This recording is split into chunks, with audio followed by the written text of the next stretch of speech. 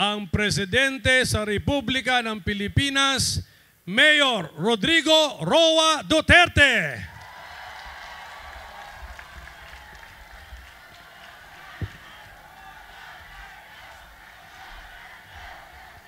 Mayong gabi. Di may ara man kong ah, salamin. Kani nga salamin, makita mo ako, pero ang makita ko, sarili ko lang. Naga-speech. Huwag bang ko makakita sa mga tao? Di ako lang, parang nag-practice ang ah, mirror nga gasulti si si Mayor na believe siya sa mga taga-Bacolod, kagakilat, kag-ulan, anaa sila nga rin.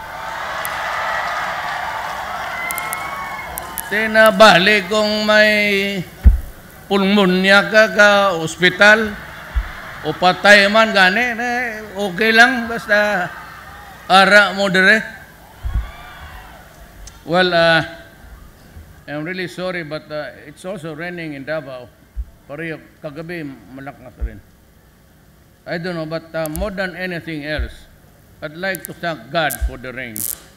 We are uh, suffering from the El Nino uh, phenomena, and uh, we need rain more than mas kailangan ng Pilipino kaysa tao tayo dito. Well, of course, I appreciate your sacrifice.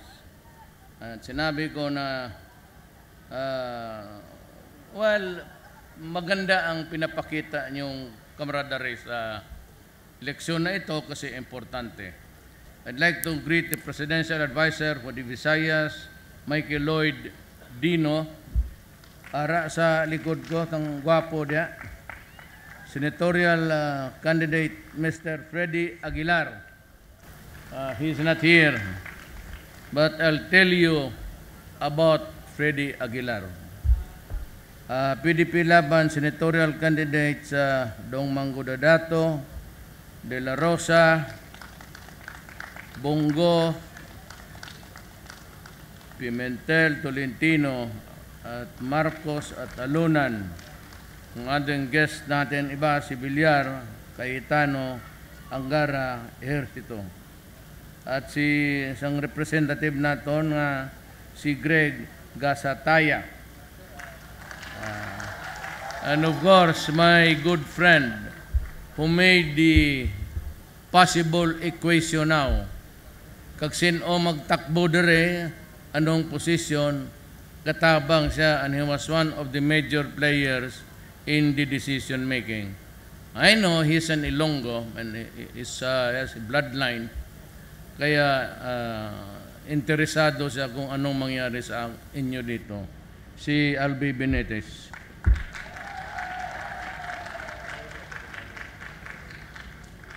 Si Bing, is it Leonardia or Leonardia? But it's the same. It could pronounce it Leonardia or you could pronounce it Leonardia. Ay, one, oh, totoo yan. The, the, two ways of uh, pronouncing it. And uh, mga kababayan, I'll uh, divide my talk. Uh, they say that I, I give long speeches. I will shorten it but divide it into two.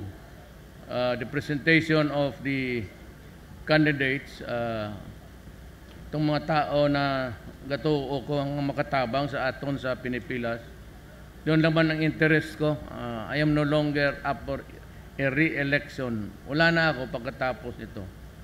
My only concern is my nation.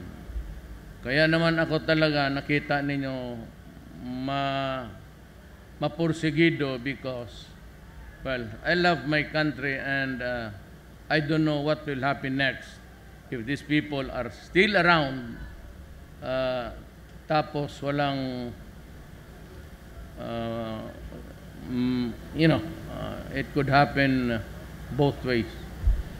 Uh, I'd like you to remember this statement of mine. I'll not, I will not stay long. I'm up to two years plus few months, then I'm gone. I am not up for re-election and, and I do not have the slightest intention of overstaying in power. On the day of uh, my term ends, I will step down at uwi ako sa amin. But ang gusto ko lang malaman ninyo ganito. Two things, but first, you have to have peace and order in this country. And I have a very limited time to do it. Maybe uh, in some aspects of. uh, the other one is, pag hindi ninyo nahinto ang corruption sa gobyerno, itong Pilipinas, pati kayo wala talaga. You gave a president 10 years, and we would still be the same if you cannot have law and order, if you cannot have peace in your community, and corruption in government remains. Huwag kayong maniwala sa basura ng oposisyon. I will explain it. And besides, in all of my, it's always my law pa partner's office and yung papabili kami ng motor. You know, I ride the motor. Kayong mga taga-Bacolod, alam ninyo yan. And everybody is in the business of big bike. Swap, palit, magdagdag lang ako o magbili ako ng motor mo. Ayan lang man ang kanila. Tapos yung kayamanan. Well, sabihin ko sa inyo, sabihin ko sa inyo, in due time, mayaman, taguin ko. Bakit ko sasabihin sa inyo kung saan ko nailagay? Gago pala kayo. May tao ba dito na hold up pa tayo? May pera, may pera ako. Ulol. Ulo. You know, I've been mayor for 23 years. I've been a prosecutor for 9 years. I've been in the practice of law 4 years before that. And wala akong talo na isang election until the presidency. Pero kung sabi ninyo, tignan ninyo yung mga basura nila. Wala akong transaction sa gobyerno because I do not allow transactions, contract sa gobyerno na aabot sa table ko. Yan ang ipagmayabang ko. Upon my Tanungin mo lahat ng cabinet members. Tanungin mo lahat kung sino ang gusto ninyong tanungin. Yung mga transaction contract sa gobyerno na involving private or public funds, they do not reach my table. I have nothing to do with it. It begins and ends with the cabinet member. Wala kang maturo sa ni hindi ako nag, nagpipirma ni isang all I have is my salary 200,000 dalawa ang pamilya ko tamang-tama lang talaga. Oh totoo. May pamilya ako na isa. Si Elizabeth Zimmerman yung uh, si Inday. Yung the, uh, the German side. Meron ako dito, uh, Bulacan side, pati Ilonggo. You know, my wife is a Bansenya. Kag makita mo na mga Bansenya da sa Iloilo, kanang old house, mo na sila nga pamilya. Wala lang ko kasulti sa inyo kay Ah, baka sabihin nyo naggara-gara ako na eh, Ilonggo, Ilonggo. But actually, my, my wife is an Ilongga uh, sa father side. Parintim na niya nga, nga na mga abansi niya, the oldest house in Iloilo, 100 more than 100, 100 years. Yan, totoo. Dalawa ang pamilya ko. So, tama-tama lang talaga. Ako, maghingi ng allowance sa kanya, 10%, 10% rin sa kabila, yun lang, ang baon ko.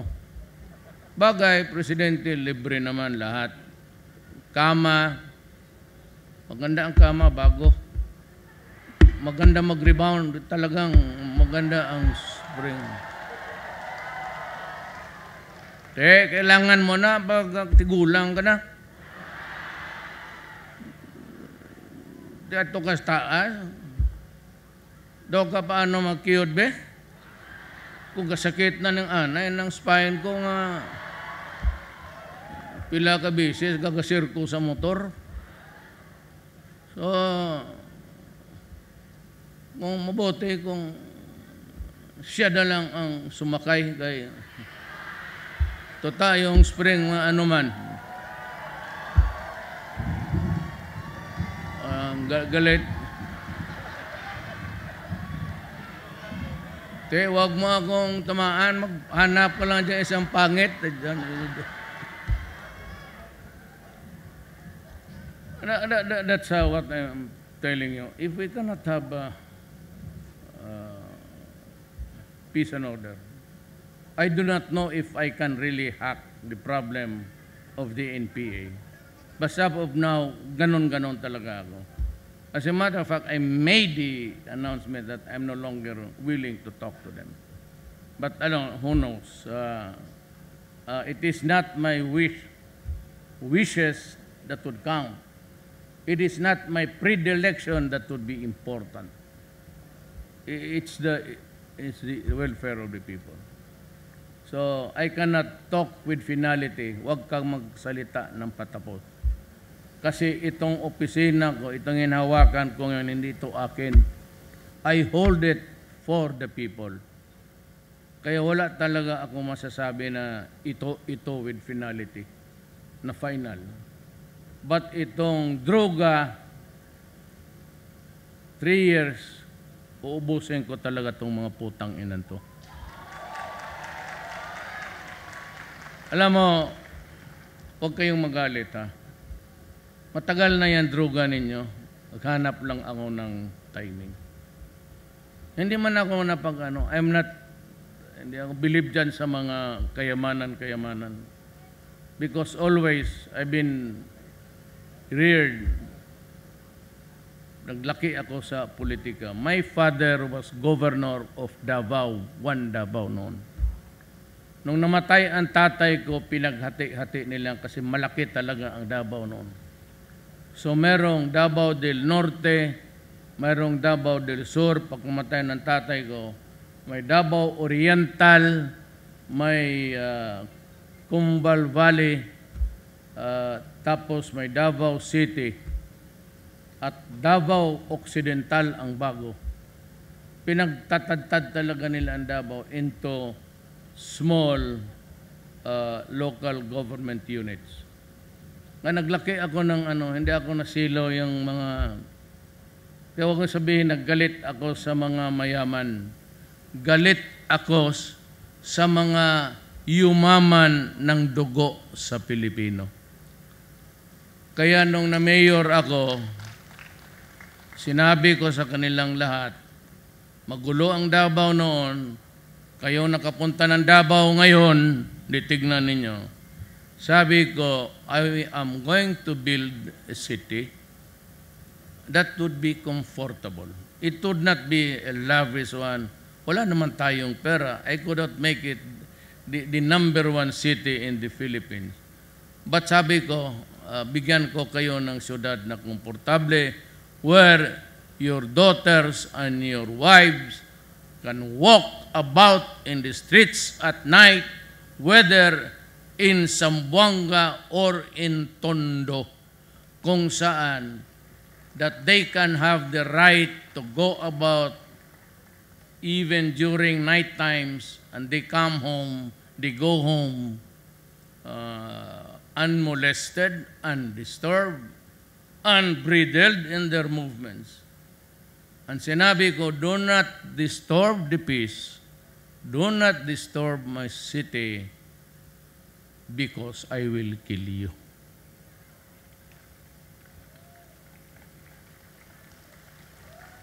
Do not destroy my city with drugs and feed the youngsters, our sons and daughters, with shabu. Kasi papatayin talaga kita. Putang ina mo. Nung na-presidente ako, sinabi ko yan, kayong mga ugok mga putang ina hindi kayo nakinig, adi tapos.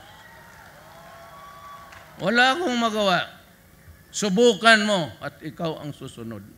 I told you when I became president, do not destroy my country with drugs. And do not destroy the Filipino. Kasi kayo yumaman, naligo kayo sa pera, ang putang ina ninyo, ang ginamit ninyo, ang dugo ng aking mga kababayan. Ayaw ninyong makinig, sige. Eh, total, may namamatay man ng tao araw-araw. Huwag mo ninyo akong bulahin. Mga babapit, pera mo. You can buy so, so many. Ayaw ko nang sabihin kasi taga rito. Huwag mo akong bulahin na you, you can acquire. Money lending, you can acquire those billion. May money lending man sa amin. Mayor ako, eh, nag-i-issue ako ng permit. Utang ina mo sabihin na ganun ang, ang mo. Well, because you are using it as a legitimate, ilonder mo. Padaan mo dyan, hugasan mo para legal. Eh, alam mo, dumaan ako pagka-prosecutor. At minsan, killer rin ako. Eh putang ina, kung gusto mong ganun, eh, talagang iritan kita. Not only now, na, lahat.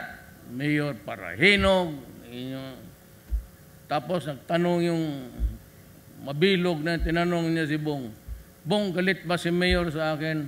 Sagot ko kay Bong, sabihin mo sa putang ina niya, siyang isunod ko. Pumasok kayo dyan, tignan mo. Wala noon, at the start, you know, thousands may surrender. Nung pumasok na ang drugang naging sindikato na, pati ang mga pulis, mga customs pumasok na, ah, sabi ko. Hindi pa kasi yun. Eh, Hindi pa panahon ko, kasi tinatago nila. eh.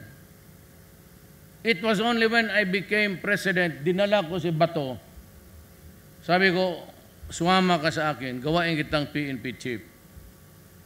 Ibigay mo sa akin ang totoo, buksan mo ang records. And that was the time that I discovered na mga nine generals sa police, customs, lahat ang mga putang ina nila nandyan sa droga. Kaya sabi ko, I am fighting my own government.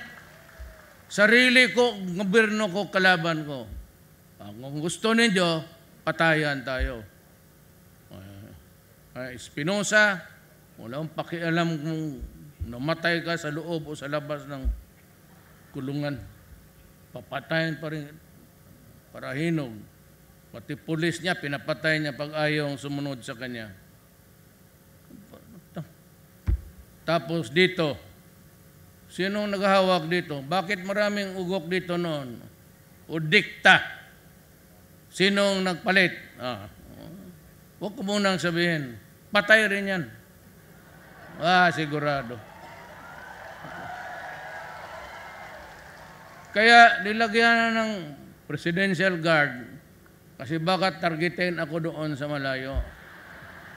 Eh ako, 74 years old. Kung mamatay ako ngayon sa bala ng assassination, kaligaya ko na lang. Pagod na ako. Gusto ko na rin sumibat. Kesa mamatay ako na, sabi na, namatay sa tulog niya, namatay ng sakit sa utak, pumutok yung bayag niya, walang alam kung bakit. Eh, di pa ngayon, ha? Ngayon, ha? Eh, pero ang PSG ayaw, eh. Gusto lagyan ng ganon. Pero ako, tapos na ako. Tapos na ako. Mga anak ko, mayor na. Tatakbo na nga ng congressman pati vice mayor. Eh, ayaw naman ng tumakbong taga Davao. Ako gusto kong umalis. Yan nga ang problema. Alam ni Mayor Leonard Dia or or whichever you like, the, the accent is where. Nakakapagod yung trabaho, 23 years. Ginawa, ngayon, pumunta kayo ng Davao, tignan mo. Walang naglalakad sa gabi. Walang nag standby ng kanto. Walang nagiinuman dyan sa makita kita mag, walang nananigarilyo. At 12 o'clock sarado ang Davao, it's a dead city. Patay ang Yan lang ang ano nila kay Inday. Sobra ka istrikta. But uh, mabuti rin yan uh, para sa akin. Kasi noon, di ba, 2 o'clock. Tapos, uh, naging binaba ko ng 1. Ngayon, binaba ni Inday ng 12. Tapos, sige pa reklamo yung mga bata. Sabi niya, let's check kayo. Reklamo kayo, ibaba ko ito ng alas 9.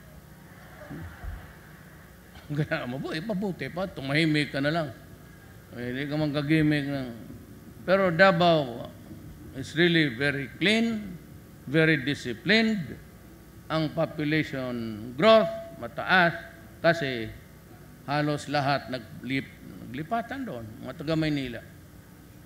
Yung hindi na maka ano sa traffic and yung corruption. Kaya you have to have peace. Kaya itong droga, which is contributing a lot of criminality in this country, may three years pa ako. Maubos ko pa kayo sa awa ng Diyos. Pati yung putang inang chief of police ninyo, pinatanggal ko. Diyan, diyan sa any crowd. Birthday ni ano yun eh. Ni di eh, si si Ceres, yung youngest na, yung, yung ano dyan. Doon mismo, binigusan ko, sabi ko, saan ang chief of police ninyo? Sabi ko, if you're here, you stand up. You're fired. Kasi yung si Kano, inambos, pumunta pa siya doon. Sabi ko, what's your business going there? Akala kasi niya, bobo ako putang ina.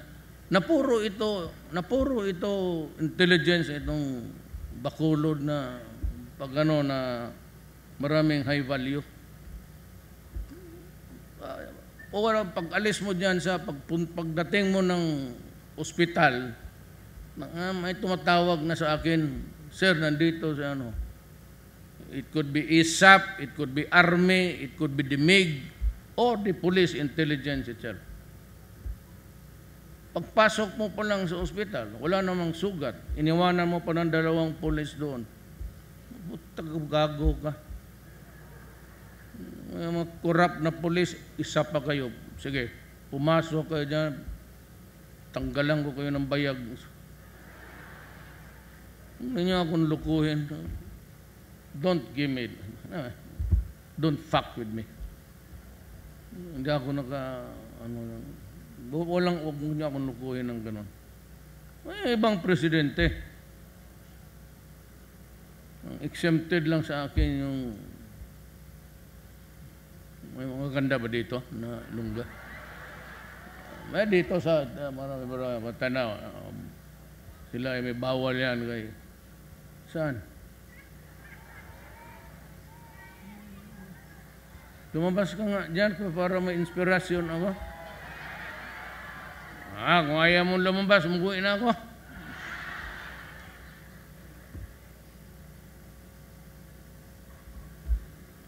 Hoy, nandiyan ba yung ano ko? Yung para sa malayo ko? Hindi ako nakakita eh.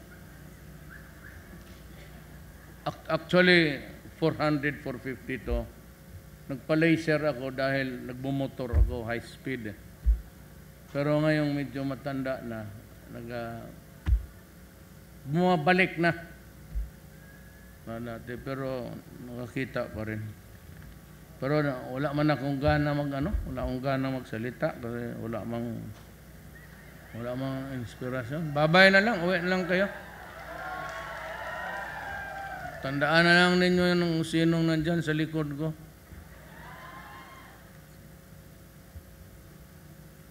Ah, gold na. Ay, yung gold na ano. Ito ay hindi ko sinusuot to kasi.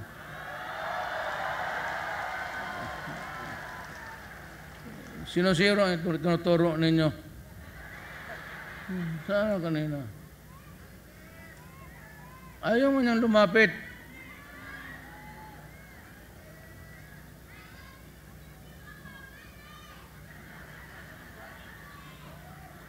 Ikaw na lang kaya lumapit dito. Sige ka, sigaw-sigaw niya.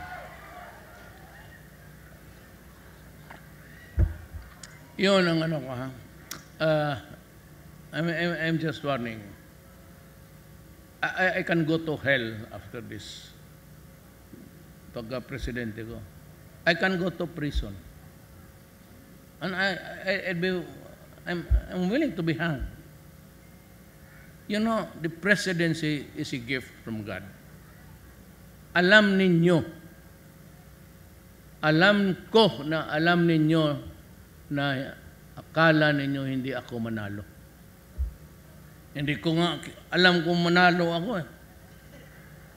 Kasi sa totoo lang, wala akong supporter dito. Even in Bacolod, si Magsi, of course, kasi PDP siya, isa lang ang pamilyang nagpakain lang sa akin eh. Mga Yanson. Kaya utang na loob yan. And of course, I told them, may negosyo kayo, may tang. You are not bound to support uh, my candidates. You can remain neutral. But for as long as uh, that friendship remains, I will, kung nandito ako, dito ako magkain sa inyo, kasi masarap man ang ulam, tsaka mabait man si Wawa sa akin. Pero utang na loob yan. It does not include politics. I have never, never, tanungin mo si mga Yanson, na may hiningi ako na sabi, tulungan ninyo ito, except Bong, go, kasi palagi kong kasama. Yun lang. Wala akong sinuggest sa kanila, sabi ko, wala akong hingiin sa inyo. Kasi nasa, nasa negosyo. Hindi naman natin alam kung sino ang maging presidente after me, and you might compromise yourself, so you better stay out. But if you want to help, it's okay. But then that is not that that would not be an imposition coming from me. So tapos itong uh, NPA at itong revolusyon sa Mindanao. Itong revolusyon sa Mindanao, medyo naayos na natin ang konti. You know, my grandmother is a Maranao. My grandfather, sa mother side ko, Chinese, Lam. You know, but he was naturalized. Uh, naging ano siya, ina- inadapt niya yung ROA na apelyido ng abogado niya. Yan ang totoo dyan. But my father is from Cebu City.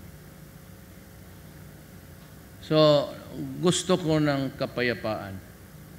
It's my, nanumpa ako eh. So, you have to help. Itong droga, mas madali ito kung pati kayo, kagaya ng Alsamasa sa Davao, na wala ang komunista sa Davao City mismo, kasi yung mga tao pumalag na. At lahat ng tao may armas na rin. Ah, kayo, yung mga kayo dito sa Chinese, ah, sa, sa ah, civilian sector, ah, tapos yung mga Chinese community, kay kayong pinagdudahan, you better shape up and try to help government. Kasi kung ako ang sinabi ko nakatira dito, hindi ako papayag sa neighborhood namin sa Matina, may puser. Baske civilian ako, babarilin talaga kita. Simplihan kita ng baril. Ah, Lalo na kung may mayor ako magsabi, sige, ubusin ninyo mga putang inang yan. Uh, it's a matter of uh, really a choice of helping. Ayawan ko lang kung ano ang kay mayor manalo you have to take a stronger stand. You have to protect the civilians. In the same manner that itong mga sundalo ko, pati police, protektado yan. Huwag yan lang sila pumasok ng mga krimen kasi talagang unahin ko sila. But ito sila, when they commit uh, a crime in connection or during the performance of duty, sagot ko yan.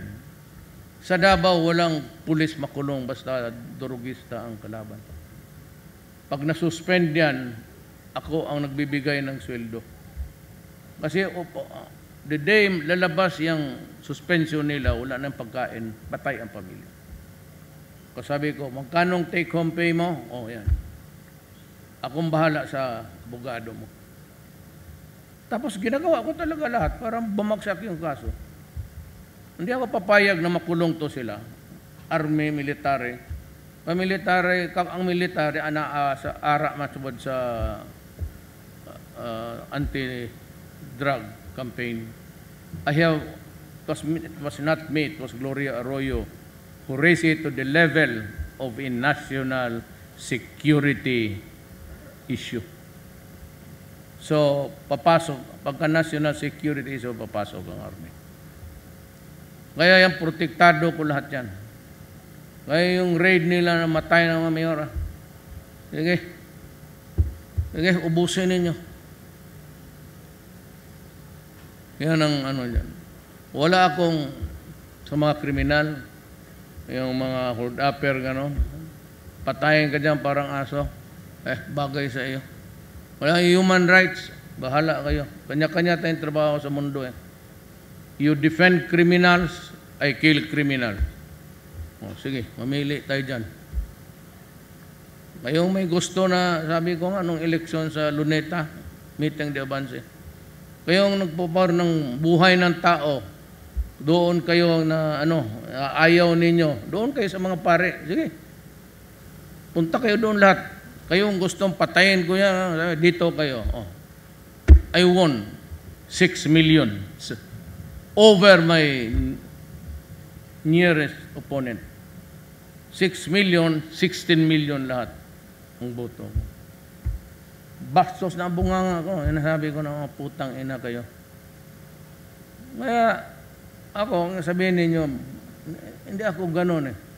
But because talagang even during the before the elections, kalaban na talaga ako ng simbahan ang, in, fair, in fairness to them, nag-umpisa yan sa extrajudicial killing. Na ako raw pinagbintangan nila na, bakit pag lumaban yan, patayin talaga yan. Na ngayon sabihin ninyo, ang tao nakaluhod, nakatali yung kamay, barilin mo, aka, kakaguhan yan. Yeah, you're not supposed to do that. Uh, at the very least, patakbuhin mo na lang siguro sa bahay mo na binabalot ng minsan plastic. Sabi ko, sino maggawa ng pulis ganun? Hindi ba trabaho ng pulis magawa ng mami? Bakit mo sila? At bakit? Sabihin ko sa pulis, gago ka pala ng pulis. Bakit mo balot-balutin yan pag aksahan mo pa ng panahon? Trabaho-trabaho yan sa kanila. Yung utsuhan. Lalo na talagang utsuhan isibat mo yung dapat eh, sa uli mo, yung kita. Marami yan. Tapos kami ang pagbintangan. O, sabi ko, sige, isali mo na. Total, eh, patay rin eh, mas mabuti. Do not believe, itong basura lahat ng simbahan. O ka dito ng simbahan na mag-ano ng ustiya. Nang sabihin, mamatay sana si Duterte. Alam mo, kayo, alam ko, conservative ang Bacolod. You know, gusto kong lumabas yan sa inyo. Noon sinabi ko na na kami sa Ateneo, first year ako, minumulistya na kami ng pare. Sinabi ko yan, nagalit ang katoliko Ito totoo eh. Kasi sa, sa ina, ina-atake na ako. So kayong mga pare, no, you, you better shut up. Because if you, alam mo, kumpare ka, if you attack me, do not do it in the confines sa katoliko ito. Kumbaga ito ang simbahan, pati ano, huwag mong gamitin ang pulpito dito. Kasi ang resback ko, matamaan talaga pati simbahan. Kaya kanila, babaero daw ako. Totoo. Sino ba naman hindi magandang, hindi ayaw na magandang babae? Tanongin mo si Alunan, kung ayaw niya. Eh, taga rito man talaga siya. Ayaw mo magandang babae, sir? Oh, ito, manggo dato, isa pa to, karaming asawa ang puta. Eh, pareho kami moro eh. Pero sila nagpapakasal. Ako, uh, wala, hindi, matanda na ako, sa totoo lang. I'm 64. Wala na. Maski lula mo, lulo mo 64, wala na. But back to, eh, huwag mo atakihin dito. Kung ikaw Pilipino na pare, ang gawin mo, lumabas ka. Ako'y si Padre Gomez. Pilipino ako. Ina, uh, I am criticizing President Duterte for extrajudicial killing. Blah, blah, blah, blah, blah, blah. Huwag kang pumasok dito tapos sabihin mo, uh, extrajudicial killing, mapunta ka sa impyerno. Separation of church and state. Kaya pag ginamit mo ito dito, pulpito, may tama talaga ang simbahan. Ang ngayon, sabi nila, ito, Duterte, babaero. Noon pa, ayaw talaga nila ako. Kasi ayaw ko rin sa kanila. Kasi na, doon sa experience namin, yung first year, first year, second year, yung mga taon na yun. So yung third year, fourth year, pati yung incoming, siguro, tagal ni Father Falby, five to six years. Ayaw ninyong mala, tingnan ninyo dyan. Ngayon, may, may, may cellphone man kayo. Father Mark Falby. Yun yung nadimanda sa LA kaya nabangkarota ang Paris ng LA. They were sold for 25 million nagbayad ang simbahan. Nandyan, kunin lang ninyo ang pangalan. Mark Falby. Tingnan ninyo ang kaso niya. Tingnan sa cellphone. Mark Falby. Magkapatid sila na bakla. Ngayon, pagpunta, ayaw ninyong inatake ako ng simbahan. Okay. Sabi ko, ayaw niyo maniwala. Ngayon, si Pope Paul pumunta ng Dubai. Doon niya inadmita na totoo talagang yung panghasa, yung abuse, sexual abuse sa mga bata, mga sakristan. At sinabi niya for the first time, siya yung sinabi, na ang mga madre ginagawang konsumo ng mga pare. Ngayon, sino ang nagsisinungaling? Ako, I was proven right.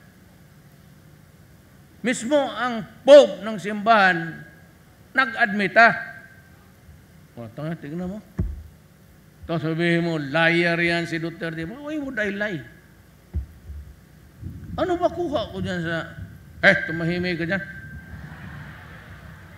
Sasalita ako dito. Maya, paputokan kita ng M16 ngayon.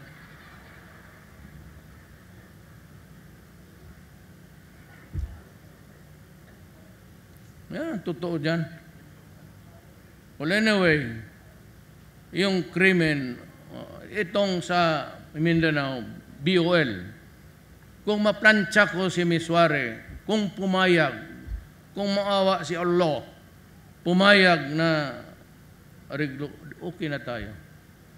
Ang kalaban na lang natin ang ISIS. Mga Abu Sayyaf na yan, mga da, da Ismaili, wala yan. Puro ISIS talaga ngayon. Yan ang hindi natin madala. Because they want to kill everybody in this world. They want to kill all infidels. Alam mo kung sino yung infidels? The non-Muslims. Lahat tayo yung Jehovah's Witness, Protestante, eh mahirap yan. Eh, kung ganon, kalukuhan na yan. Magpapatayan talaga tayo. Makita mo ng pinamapatok nila sa Mindanao. Doon sa Davao kay Inday, sa night market, simbahan ng tapos you expect me ito. Alam mo, wag mo talagang do not ever think. Wag mo talagang isipin na ikaw lang ikaw lang ang marunong gumawa ng masama sa mundong ito. You do not have a monopoly of evil in this country. Yan talaga ang warning ko sa lahat. Huwag mong isipin kay kami dito, hindi kami ganoon, hindi ako kami, oh, tapos hindi ko kaya. Putang ina plus 10 ka sa akin. Huwag mo yun umpisahan. Kasi it will be a heartbreaking situation for all of us.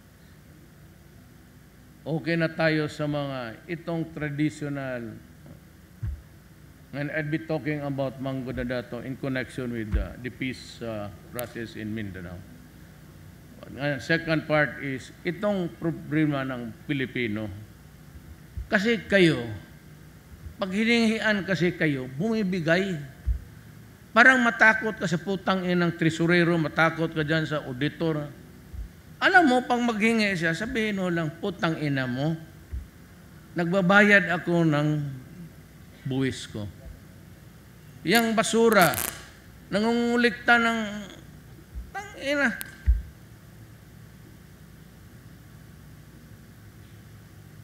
Hindi sabihin ko kay Mayor Leonardia o Dia na kinukolektahan mo ako. At sa harap niya, sabi ni Duterte, sampalin ka. Yan maghigi ng ano tip, putang ina. Hindi man ito restaurant. Bakit ka magsigihingi ng... Because you are not sampal pa ito.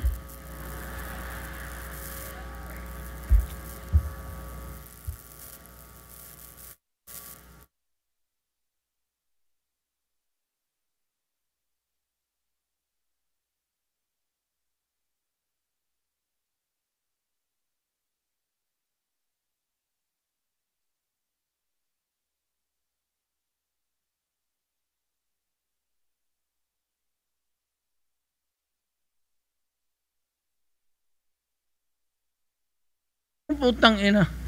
Nagbabayad ako ng buwis. Itong permit ko,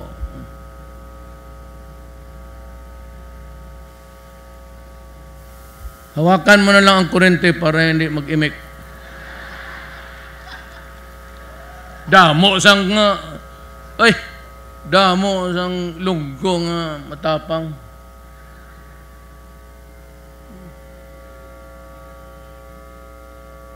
Baka mahulog yan ha. Bata, tumabi ka muna dyan. Uh, mahulog.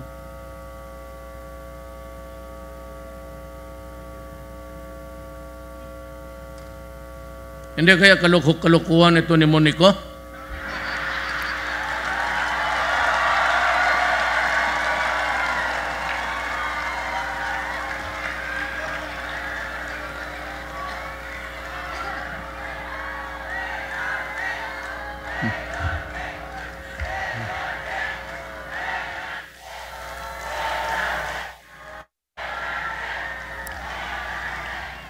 Ayan, i-disabled mo na lang.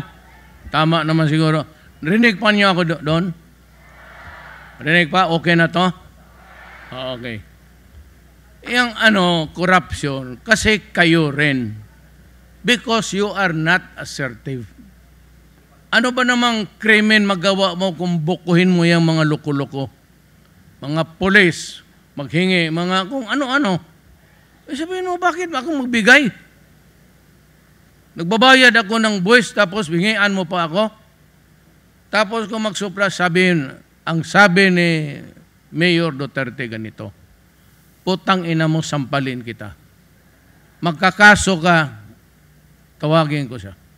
At sabihin ko ang totoo. Kasi pagdating ko dito sa Bacolod, kung matawag ko kayo, sabihin ko sa iyo, sampalin mo sampung beses sa harap ko. Kasi Maynila, ganun. Inge, kaya sa Maynila ngayon, talaga sabi ko maghanap kayo. Ngayon wala nang bukas-bukas, lalo na yung mga OFW. Pag yan ang nagreklamo, talagang putang ina nag umuusok ako. Yun ang nga ang mga mahirap, yung pa ang pahirapan.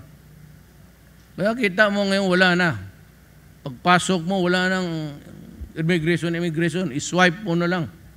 Igano mo na yung passport mo, tapos na. Yan, yan ang ginawa ko. Walang inspeksyon. May mga kargo-kargo. OFW galing China, pwede mo magdala ng shabu yan. Eh doon, pag meron, patay ka eh. Galing panghas, panghase lang yan. So, yan ang sinabi ko. Sabi ko noon, walain ko yung lag, lag, ano, lag, laglag bala. Sabi ko, putang ina, kakainin ninyo pantay sa akin. Sabi ko, yung sa customs, wala nang bukas-bukas. Ginawa ko. Sabi sa kayong magsasaka, masyado kayong believe niyan sa NPA. Sabi ko sa inyo, tanggalin ko na ang irrigation fee, bayad. Wala na kayong bayad. Sabi ko, land reform ko, Ayan, ang Boracay nilinis ko. Yung likod ng Boracay, lung lupa lahat yan, nilandry pa ko. Binigay ko sa negosyante, binigay ko sa mga ita. Yan ang may-ari sila ngayon. Ten years from now, milyonaryo yung mga yan. Lahat, yung likod ng, likod ng beach, papuntang bukid, land reform na yan. Binigay ko sa mga natibo. Ginawa ko lahat. Sabi ko sa inyo, libre ang tuition kung mahabol ko. Ngayon, libre na. Tapos sinabi ko, ang hospitalization, uh, may kunting adjustment lang dyan sa medisina, pero libre na. Ginawa ko na. Ano pa ba? Lahat pinangako ko, ginawa ko. Korupsyon, medyo mabagal na talaga. Ngayon, pag ikaw na sa corruption, alis ka. At sunod, next week when I fly back to report to work, before I leave for China, marami akong tatanggalin. Putang ina, sinabi ko na sa inyo. Magkaibigan tayo, magbayad ako ng utang na loob, bigyan kita ng trabaho. Pero ang pinaka, pinaka ang pinakausap ko sa iyo noon na wag lang kayong pumasok sa corruption. Huwag ka nang magtanong kung bakit. Eh, ito ba si Duterte, malini? Ah, wag na. Basta sa panahon ko, wag yan. Ayaw ko. Three years, kung gusto mong tatanggal yan. Ilan na kayang cabinet members sa pinatalsi ko? Lima? Anim? Lahat, na, lahat ng, ng pinangako ko, binigay ko. Sabi ko sa mga pulis, wala nang abuso, wala nang. Ngayon, kung nandiyan kayo, pasensya kayo. Hindi talaga ako sumasanto. Uh, ang corruption na ayaw ko. Yan, yan lang. All you have to do is to resist. Pag hiningian ka. Yung corruption sa itaas, papel-papel, uh, may tama yan. Tingnan mo. Hintay lang kayo. Sabi ko, Basta wala as in wala. O ngayon, baka maubusan ako ng panahon, nanginginig na kayo kasi alam ko nabasa kayo. Uh, eh, baka naman na bukas sa uh, pneumonia nga, pulmonya kung tawagin sa Bisaya. Mapulmon man na siya. Pulmon o half moon? Ngayon mga Bisaya, mga ano, mga ano, namatay man na? Ay sir, na pulmon.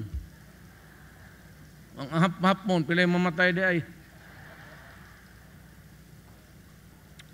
Dito tayo sa senador. Kinig kayong mabuti. Ha? Hindi ako naninira ng tao. Nothing of the sort. I am not even convincing you after listening to me. Sabihin mo, bumuto, nag-change kayo. Pero ito, informasyon na mahalaga. Para sa bayan. Para lang sa bayan. Kung ayaw ninyo, diwag. Nasa inyo yan eh. Pero ako ang mahirapan dito pag wala akong number sa ano. Kasi hindi ko mapalusot yung programa ko. Uh, talagang babarahin. Kita mo yung budget. Ang budget. Ang budget kasi submit lang. I have to sign it pagdating ko, pagbalik ko pa. Pinag-aralan pa, galing budget to the office of the president. The office of the president is not the budget. So, ang legal ko magbasa uli. Ngayon, pagka talagang tagilid yan, I will outright veto the entire budget. Eh, hindi makagsundo ang Congress pati Senado eh. And uh, yung mga insertions dyan, titignan ko. Pagka tagilid talaga, I will I will not hesitate. I, will not hesitate to veto the entire budget. Eh di, pasensya tayo lahat. Na, ngayon, sino ang kanilang kandidato? Gary Alejano. Longgo yan. Sinong gumastos ng nila Trillanes yung pag-schooling nila? Gobyerno, PMA. Noong nasundalo na anong ginawa? Nagkalat niyan sa Makati, nagmutiny. Mabutit na lang yung mga kapwa sundalo, yung mga mista-mista nila, yun ang nagpipigil-pigil sa mga ibang hindi yung hindi kasali dyan sa PMAU.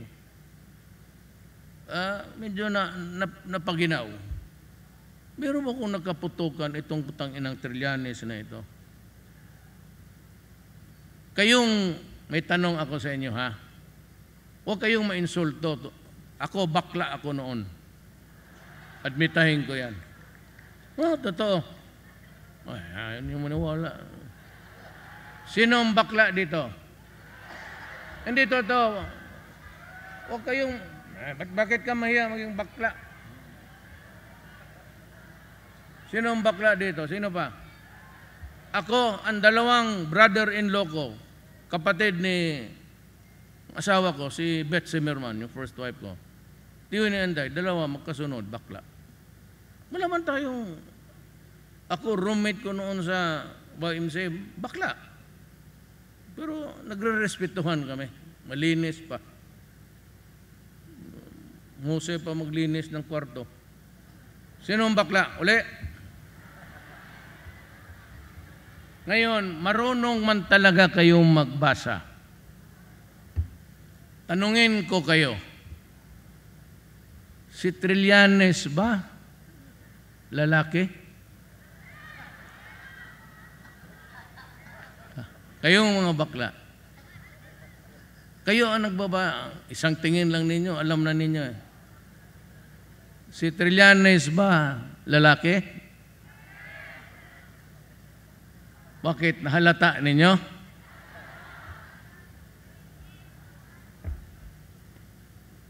Trillanes, hindi ako nagsabi niya na tinatanong ko yung mga sister ko na bakla.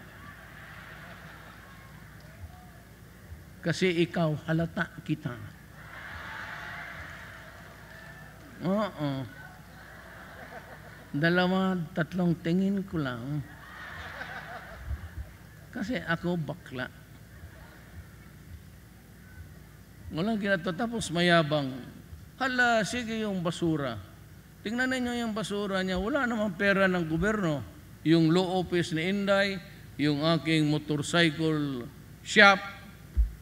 Nagninegosyo ako dahil lahat ng motorista dito, tanungin mo yung Thunderbirds.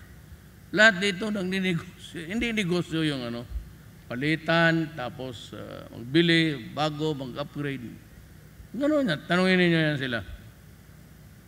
Pero wala namang sinabi na may kinuha ako ng pera sa kung diyan lang ang issue mo sa akin, droga mo. Inimbento. But anyway, uh, just just wait. Just wait. Anong ginawa nito? Wala. Dumating, du, na preso, dumating sa Congress, sige daldal, sige panaway, wala namang nagawa. His only claim to greatness dito is that he is in Ilonggo. Is that enough? Is that enough? To claim, sabi mo, ako, may ginawa ako dito pa. And because you are in Ilonggo, you'd be believed.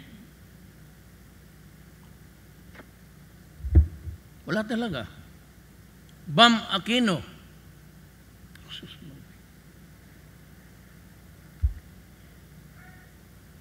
Anong ginawa nitong? Sige lang istorya, sige negosyo to improve the lives of the Filipinos. Wala namang nag-improve sa ginawa niya. Yung tiyuhin niya, o pinsan ba niya ito?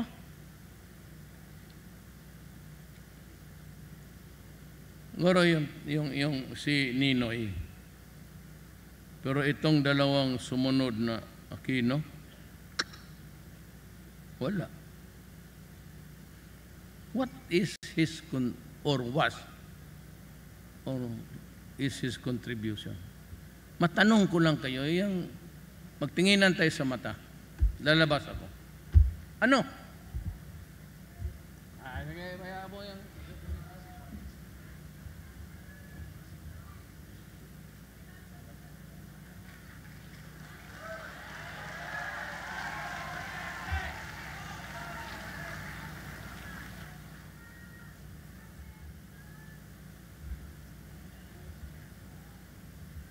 Ito si Shell Diokno.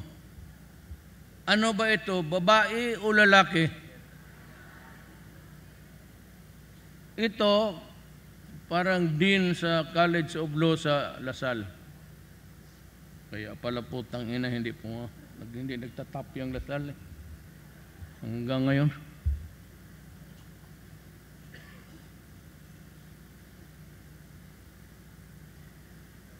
Anong ginawa niya? Wala. Sige lang criticize tapos hindi naman marunong. Tinanong siya, anong nagawa ni Duterte? No smoking. Putang ina. An intellectual bankruptcy. Kinakikita mo na libre na nga lahat. Pati ang kamatayan, libre na rin. At least sa panahon ko, libre kang mamatay. Gumawa ka lang ng krimen dyan. Itong shield joke na ito, wala ko hindi mag ano ng human rights. Doon sa kabila, sige, defensa doon sa Defense Council sa puro mga leftist, mga komunista. Sino ba nagsisira ng buhay natin dito ngayon? Why is it that the countryside cannot develop fully?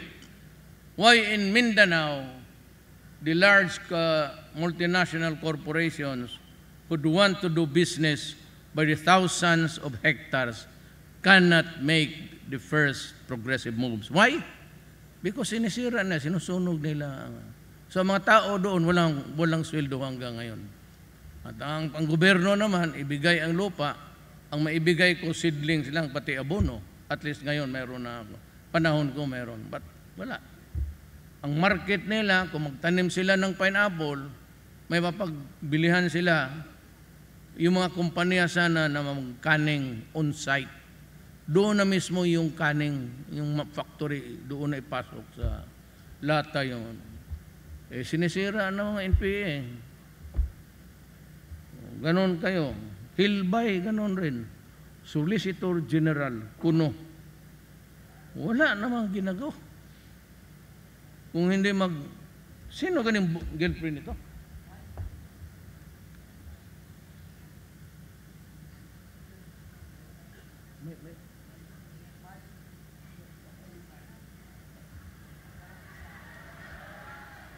Hindi, may girlfriend ito.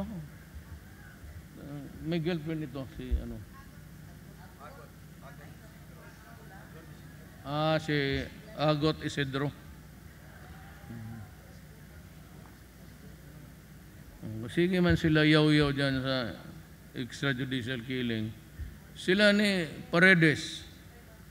Yun.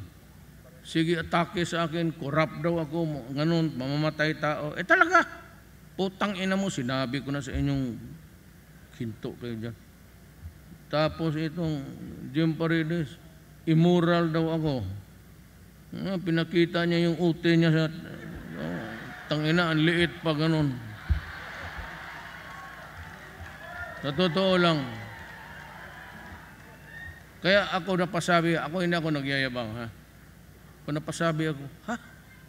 Hala kali.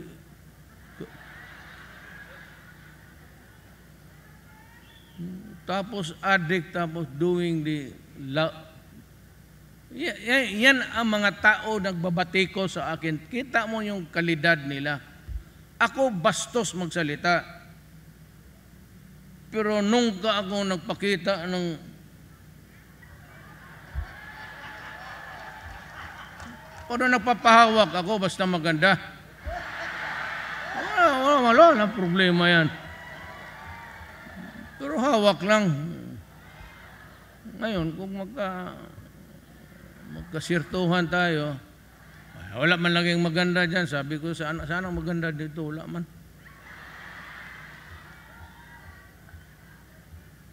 Paupuin mo nga dito kay...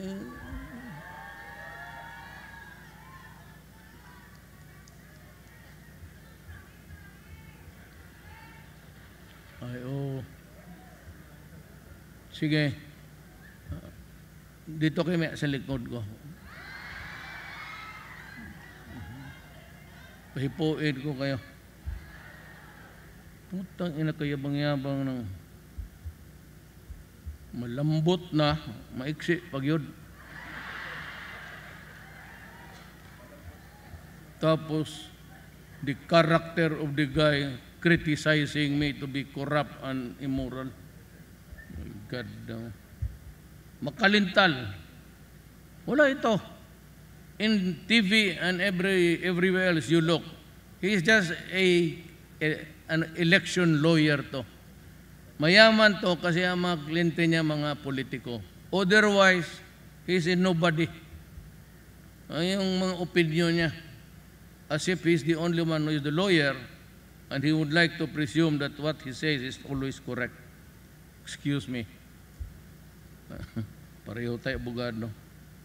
Pareho, pero sa bagay, 75 lang ako. 75 man lang talaga ako noon pa. First, uh, first grade ako, 75. Second grade, 70, 76. Ang pinakataas ko naabot, 79 sa grade 6. First year hanggang ano, 5 years ako sa high school. Sabi ng nanay ko, Rodrigo, ano ano ba talaga ito? Ito na lang ang ano ko. Sabi ko, ma, bakit ka man mag-desperate sa akin? Sabi niya, mag-desperar ako sa yan, desperate. Sabi ko, kung bakit ka man mag-desperate? Na every year, umaakyat man ako. Kita mo naman, wala naman ako sa, yung high school na lang, kasi naglayas ako. Layas dito, layas doon. Pero yung yung first grade to, sabi ko, umaakyat man ako. Bigyan nila ako ma 79, 80. Anuhin ko man yung iba. Hindi ko bang kailangan yan? Ang 75, importante kay para makalukso ako doon. Pero yung, sus, ah, sabi ng nanay ko, ngayon, sa law, well, maybe a little bit uh, because at that time my father was dead and inabutan ako ng insecurity. So may just maybe I did better than in the previous years of my life. Pero ako, nung naabogado ako, 75 man lang rin. Eh, lang man talaga ang gusto ko. Wala, wala man talagang iba. Bakit ka mag-aral hanggang umaga, hanggang hapon? Putang inang yan. Na, wala ka na tuloy. Pa- Paano yung mga girls? Yung mga sinisini natin dyan hapon. Sila diretso sa library. Ako, yung mga taga-sentro escolar. Sini muna tayo. Ang iba, sige, banat doon sa library. Yung, yung, yung Ligarda, pati itong Mindula, baba dyan sa kanto, ice cold beer. Diyan kami graduate. Basta ako target ko 75. Ngayon, tignan mo ha, na presidente ako. Oh. 75 lang. Ang kaharap ko mismo, Lorenzana, valedictorian yan, General Lorenzana, defense. Esperon, National High School College yan. Puro valedictorian, salutatorian yan. Dito sa tabi ko, mga cum laude, magna cum laude. Si Sunny Dominguez, kababata ko yan, kapitbahay ko. Since grade kindergarten kami, nag-average siya ng 95. Secretary of Finance ko. Tino, inayos ka agad yung inflation. Mahusay sila, kaya ako magpag pag prayer, nga sila, sila, tulin, Tolentino, Bachelor of Laws at Ateneo Law School. Ah, sunod ito sa San Beda. Hindi pwede magtaas ito. After San Beda, the best school is Ateneo. Ah, Master of Laws, University of London. Siya man yung crisis manager ko. Kaya niya ako, diyan ka. Ako, pag may crisis sa Luzon, may bagyo ganon, lahat ng cabinet members na taga Bagyo, lahat Kulderira, pupuntayan sila. Siya yung team leader. Hindi ako papayag na maghikano ano lang. Yan sila tugade pa sa pagsabi Bagyo sa Cagayan, Tuhit Cagayan Valley. You have to be there. Belyo, Isabela. Tugade, valedictoria namin yan. Kaya ako mag, minsan late man pa ako palagi din, nakaupo na sila. Kasi sabihin man sa akin ng sundalo, Sir, um, assembled na lahat. Ipupunta na ako. Titindig ako sa kanito. Titingin ako. Magtaka. Pati yung mga military. Ka, kalahati ng cabinet member ko, military na eh. Si Mato, Del Rosario. Titignan ko yan sila lahat.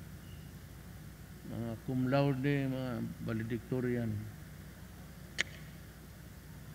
Isip ko, ito yung mga buang nagpaloko. Tignan mo ngayon, puro utusan ko lang itong mga gag.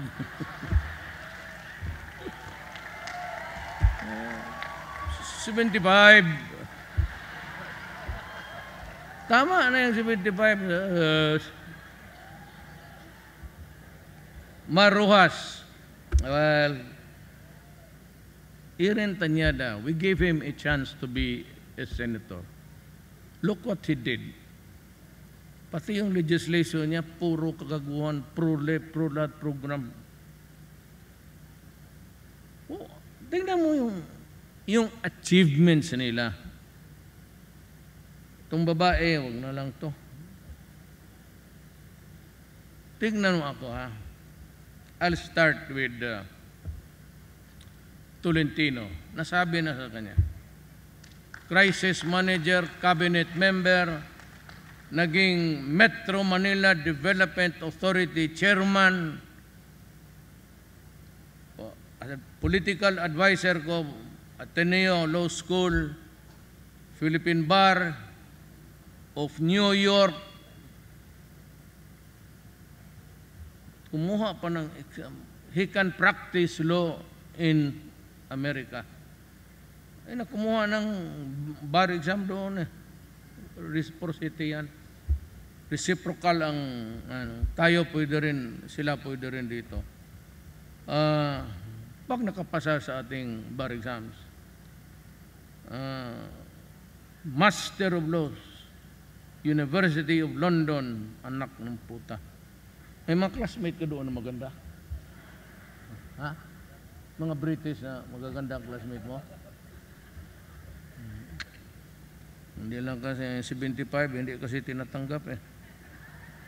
Doctor of Judicial Science Studies at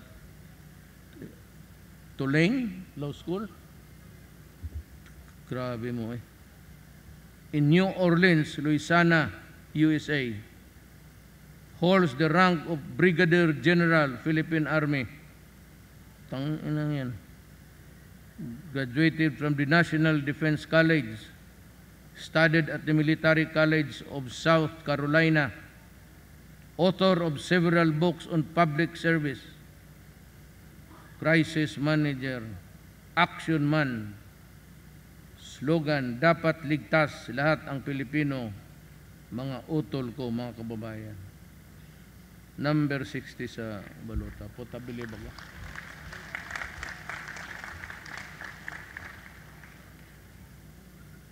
Ako isa lang, Francis, bar lang talaga.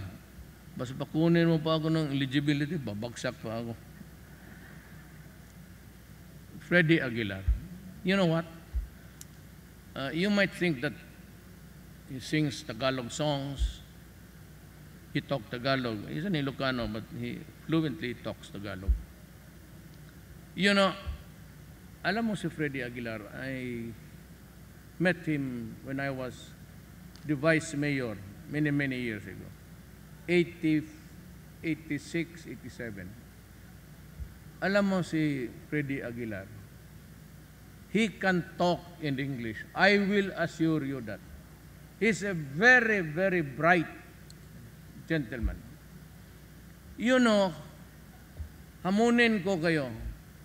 Yung maggawa ka ng kanta, dito lang yan eh. O hindi, ting, ting, yung gitara, piano, tang, tang, tang, tang, tang, tang tapos i-rhyme nila. Uh, do, do, do, do, do, do, tapos may isang sentence na rhyme nila, magsulat sila ng words, lyric. Tapos, i-combine nila yan sa hanggang maging kanta. Kung makagawa ka ng ganyan, mautak ka talaga. You must have a very good logic. Alam mo, Freddy Aguilar is very bright.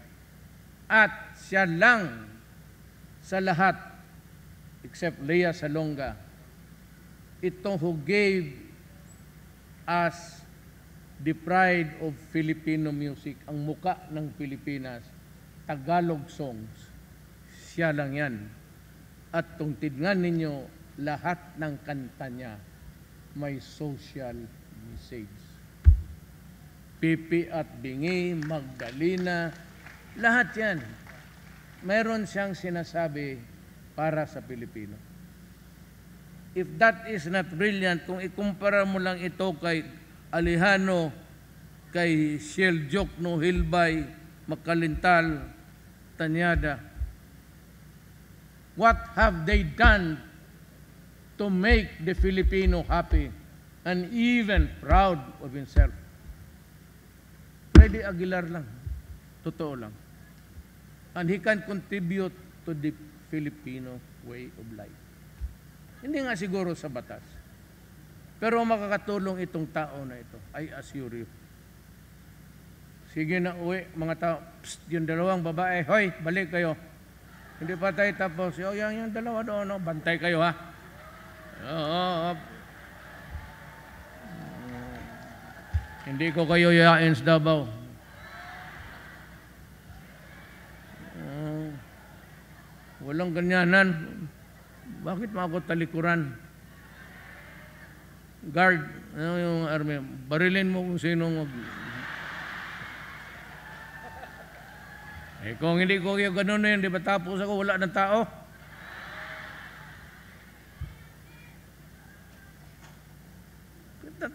Tingnan mo naman, i-compare mo lang, joke no, Hilbay, Makalintal, Ruhas. Ano ang ano ang ginawa nila? Ako kay oras naman, wala akong ano, except that, ay, hindi wala akong respeto sa tao na walang prinsipyo. He started with Arroyo as trade secretary. Then eh, lumokso siya doon kay Aquino, trade secretary, DOTC, then eventually DILG. You know, ako, nung na-elect ako, tinanong nila ako, what will be the your party sa national? Sabi ko, the party that I am, I am with today will be the same party when I make my exit in politics. Hindi ako nagpapalit ng party. Kung parot, parot tayo. More, uh, more bound yung PDP. Naghintay lang kami ng panahon. But God has a plan. Sabi ko nga, it's a gift from God. Ano mo, totoo lang, ang, ang leader ko lang, si Aime, si Abet Antonino ng uh, Bataan, si Governor ko, eh, because ang anak lang niya, Brad ko, kaya siguro nag bumaliktad. Black Brad ko sa San Beda. Ta- tapos sa Visayas, di home dito, wala ako ni isang congressman o mayor o municipal mayor o governor. Wala talaga. Sa Cebu, kung province ng tatay ko, wala. Wala ako ni isang kapitan. In Mindanao, ang dalawang subiri, mag-ama. Sa Bukidnon, pati si Angel Amante ng Agusan del Norte. Of Davao. Yun lang. Nanalo ako. Kaya sabi ko, importante sa akin yung pangako ko. Kasi hindi yan ibibigay ng Diyos sa akin kung walang purpo. Meron mo, wala, wala. Pagdating ko dito, hirap pa nga kami makita ni Max eh. Tapos, ah, napalanding ako kay, kay, kay mga Yanson. Inaway pa yan sila ni, I don't know if they would want to be mentioned it, but minura pa yan si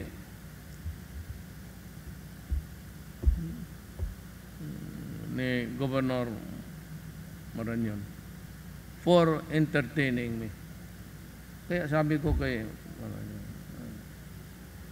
yun, ah, hindi ako, ako wag- ganun, hindi mo ganunin yung tao.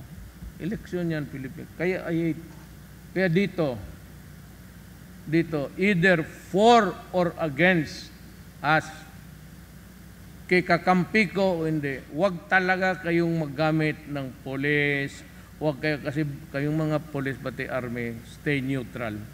Yan talaga ang order ko. Stay neutral. At yung mga guns-guns, sabi ko, pag may terorismo dito, o dyan, basking anong lugar, ako mismo ang pupunta dito. At huwag kayong maggamit ng mga NPA kasi magkagulo lang tayo. Papadala ko kayo ng sundalo. Hindi talaga ako papayag. Walang ano. Ak- Ako, sabi ko, lahat ng police, lahat ng members ng armed forces, my order is stay neutral. Huwag kayong makialam. Ako lang, eh, Presidente, I'm allowed to campaign. I did not even allow my cabinet members to campaign. You know why? Kasi they are allowed if they want. Problem is in making the sorties out of Manila maybe or going to the provinces they have to spend. And you know, people would think that we are spending public funds to finance our sorties outside. Yan na nga ako. Sabi ko, wag na lang kayo. Just to be fair. Fair is fair. Wag na lang kayo sumali. Ay, well, that's a different thing. Then, itong isa, is actually a statesman. And is one of the leading light sa panahon ni Ramos. You know, Secretary Alunan is a very good executive. And today, I am glad that he's still alive. Mapagsabi siya kasi buhay pa siya. When I was mayor, pinatawag kami sa Malacanang to warn us about drugs. At that time, panahon pa ni Ramos. And he said to us that he went to the United States to see the government agency who take care of the drug problem there, ang DEA, Drug Enforcement Agency. At sinabi sa kanya, sinabi niya sa amin, nandyan siya buhay sa panahon pa ni Marcos, na at the rate that the country is being swallowed by drugs, hindi matagal, you will become a narco state. Ang problema, hinayaan talaga, it was swept under the rug, ika nga. So, walang huli dito by the thousands, one buster by buster. Ako nagdududa na ako. Eh sabi ko kay Bato, tingnan mo. Nung tinignan niya, narco state na pala talaga tayo. Hindi lang malala, kasi ilan lang yung mga mayor na involved. Ilan lang yung governor. Nakita natin for the first time, nag-surrender by the thousands and of the last count, it was 1.6 million Filipinos addicted to drugs, contaminated to the soul. Ngayon, tinago nila yan eh. Kung hindi ako nagsabi, you surrender in 24 hours o patayin ko kayo, yung panahon na yung totohanan yun. Kasi ayaw ko mapahiya. At that time ay sinabihan ako, if I fail in this, magre-resign ako. Talagang totohanan nyo, mabutit na lang nag-surrender ang mga gago. Talagang ipapatay ko sila yung panahon na yun. And I was ready to resign. Sabi ko, oh, oh, hanggang dito lang ako, hanggang dito. That is my destiny. I am a believer sa swerte ng tao. Yung, kung panahon ko nang mamatay, panahon ko na talagang mamatay. With or without that mirror there in front of me. Sabi ko talagang ubusin. Buti, so na alam nga natin. So, sabi ni Santiago, yung he, ano na sa PDEA, it was 3 million. Sabi ni Bato, 6 million. Tama silang dalawa. You know that count was only in Manila. The count did not include Iloilo, Bacolod, Davao, Cebu, lahat na Tarlac, Abra. Ako, I'm telling you, I give you a rough estimate of something like 7 million now. 7 million slaves. Slaves na yan eh. 7 million Filipino slaves to a drug called Shabu. Putang ina nila. Wala nang ginawa yan, parang patay na yan. Hihiga na lang yan. And when the urge comes, when the monkey rides on his back, parang unggoy na sa likod mo, ganun, ganun ka. That's what monkey, monkey on the back. That's an idiom actually. Yan ang nangyari. Kaya kung ano, anong gawain ko sa bayan kung itong 6 million na inutil. Look, pagka ang head of the family is contaminated by drugs, shabu, wala na to. He does not look after for his family. The food on the table does not come anymore. And the children would have to stop schooling. Then, this family becomes dysfunctional. Maghiwala yan, bugbugin yung asawa, ang mga anak wala na puntahan. Eventually, because of the father, they would also be runners of Shabu. Kung ganun ang bayan natin, Marami yan. Marami na milyon na ang socially dysfunctional family.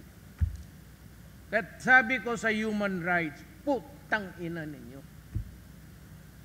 You worry of a dead carcass there, isang kriminal. Diyan kayo, that hindi nyo inisip ang pamilya ng karamihan, 7 million, are already dysfunctional and useless to the Filipino people. Kaya, kayong mga putang ina, mga human rights kayo, I don't give a shit. Isali ko pa kayo. Ipitin ninyo ako, isali ko kayo. Putang ina ninyo. Hindi na lang ninyo inisip ang ba, mahal ko ang bayan ko. Kaya ganito ako katindi. Kaya nga damo sang ilungga nga gimahal ko ni adto sa bata pa ko. Bak, alam mo ang Davao, we are a mix. I can talk a little bit of Ilocano. Tagalog, ang Tagalog ko hindi ko na, hindi naman perfect. Neither ako am I articulate sa Visayan kasi naglaki kami halo. But the predominant dialect now is really only the Davaoenyo, yung millennials can magsalita yan sila in and out sa Tagalog pati Bisaya. Ma-pick up ninyo kayong taga Bisaya mga Ilonggo. Pero iba nila naman intindihan. Kasi ang minix na nila lahat eh. Bisaya pati if you want to be clear, can talk in English. Pareho ng Cebu, nag-i-English na lang. Hindi kayo magkaintindihan na yan. Kami sa ano, maliit kami, naglaki kami ng kaya meron akong sariling pang ano, pangloko lang uh, na I can talk in in uh, I, I have the I can get the accent of the Ilonggo Ilocano Bisaya pati Tagalog. So, at saka yung little bit of Kagan, yung salitang native, the native uh, Muslims of uh, mga Moro sa Davao. Kaya kami sabog ang bunganga. Gaya ko. Di ko magampang kasi Ilonggo, ay kaya. Ah, Damo sang Ilonggo nga Tete ko, te agdon mo ko gira. Oy problema, damo sang Ilonggo. Alam mo talaga ang warrior. Magpunta ako sa kayo mga Bisaya, no offense intended ha. This is just an observation. Kayo mga Cebuano. Uh, every now and then, I, yes, yesterday, was it yesterday I went to Ulo? Ah, The other day, sa araw ng kagitingan, instead of uh, mag-raise ako ng flag doon, dito doon, pumunta ako, doon ako nag-raise ng flag sa Ulo, sa kampo. Tapos nag-award ako ng mga medalya. Bata, saan ka? Ilocano, sir. Bata, ano ka? Iloilo, sir. Dalawa lang ang tribo natin na nag-aaway. Ilonggo pati Ilocano. Yung dalawa na ano na yan, tribo na mahal ko talaga. Totoo yan. Magtanong ako dito, karami kayang sundalo dyan na may tama. Oh, Cebuano, nandito? Wala. Bulanon, wala. Utang, saan ito mga yawa na ito? Lawan. Totoo. Eh, halos lahat yan. Eh, yung, yung kalibot sa akin, halos Ilocano yan. Kung hindi Ilocano, Lunggo. Kasi Lunggo nga, ah, kilala ninyo si Pinyol? Uh, Ilonggo yan.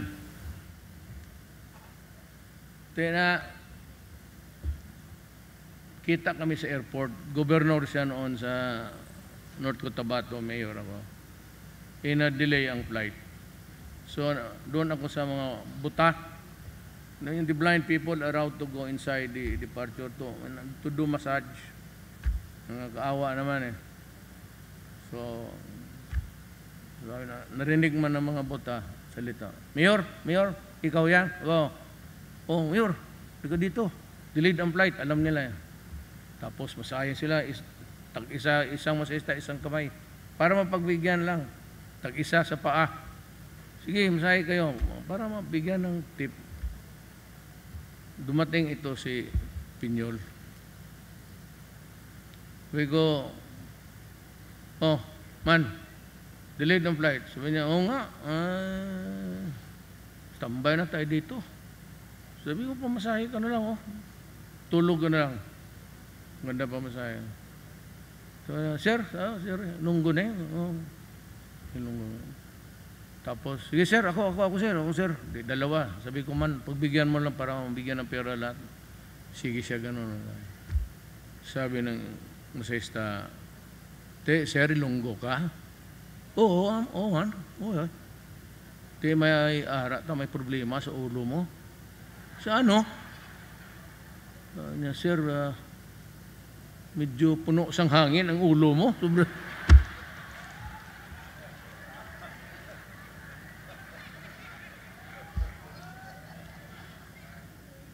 Totoo yan ha, sabihin mo sa kanya.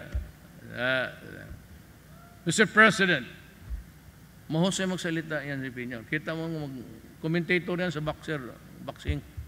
Mahusay magsalita yan. Valedictorian rin yan. Totoo sa high school. Mr. President, I have a scheme, a plan, and uh, I think this would work with your uh, backing. Kote, ano na? Ara nga backing, sure man. Mr. President, itong gawin ko. Banat na siya. Si Sunny Dominguez, kasi naging agriculture secretary yan panahon ni Aquino. So, sige, kalabit sa akin si Manny, uh, si Sunny Dominguez. Uh, siya yung agriculture secretary noon. Eh. Uh, it's not possible. Uh, ah, Mani, sabi ni, ano, hindi daw possible. De, ganito yan eh. Basta, we might end up in net exporter ng rice. Wow! Palakpak ng mga pagdating ng end of the year, nag-umpisa na ang rice crisis. Wala na ang bigas. O, nag-import na naman tayo. Money is, uh, well, you have to be optimistic. If you are a leader, you have to be optimistic. Kung pessimistic ka, you adopt a def, defeatist uh, trait, uh, di wala na. Pero nangabantay lang mo, kakahangin sang kidapawan nga, ara mga lunggo dito. Maraming ilunggo sa Davao. Actually, sa lahat ng Ilonggo, Mindanao, landslide ako. Land, landslide ako doon. Wala, hindi sila sumunod dito kay, oh, totoo.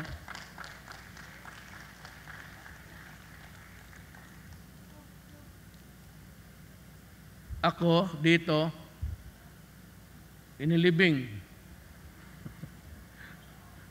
Nag-crash lang. Nag-crash ako dito, hindi ako nag-landslide. But anyway, I said, uh, I work for all Filipinos. I love you all. Kasi may naniwala sa akin. And even during the meeting, yung nandito ako, karami kayang tao. But for just listening to me, I'm grateful. Uh, at least uh, I had, uh, you shared some ideas with me and you knew what was coming sa promises ko. I never made any grand promise. I never mentioned yung build, build, build because I was not sure about the attitude of China. It was only when yung in-order ko na 23 rifles, M16s sa Amerika, in-stop nila during a congressional hearing because sabi nila na sobra-sobra daw ang baril natin. Hindi na lang ako nag-ano, that started my my disappointment with the Americans. Na yung, at the time when I needed it most, I went to Russia and China and they gave me libre, binigay na sa akin. And I'd like to address the Filipino people that to this day, ni isang toothpick wala silang hiningi sa atin. Buti malaman ninyo. Rafi Alunan is one of the strategists ni ano, talagang ano ito, national security expert. But I don't know. Wala kayong talo kung ikumparar mo Alejandro o Jokno Hilbay, kalintal. They won't even come to a flick of a finger sa... Wala, hindi nga ka... They cannot compare with Alunan. Sayang kung pawalaan natin.